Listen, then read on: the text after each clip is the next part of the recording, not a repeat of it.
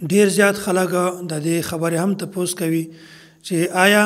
په اذان نه بعد صلو فی بیوتکم یا صلو فی رحالکم د دې په حدیث کې څه تذکره شته او کنهشته ګورئ صحیح بخاری حدیث نمبر رقم الحدیث 666 په دې کې دا حدیث موجود ده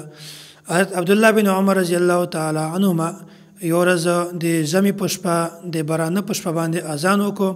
او اذانونه بعد دا وویل الا صلو فی الرحال ای خلکو په خپلو کورو کې منځونه وکي او هغه نه بعد دا وفرمایل چې د ژمې په شپه باندې د یخ په شپه باندې او داسې د بارانه په شپه باندې به هم نبی علیه الصلاۃ والسلام خپل مؤذن ته دا حکم ورکاوه چې ته په اذانونه بعد دا الفاظ وایه چې ای خلکو په خپلو کورو کې منځونه کوئ نو داسې الفاظ د دې صراحت په حدیث کې هم موجود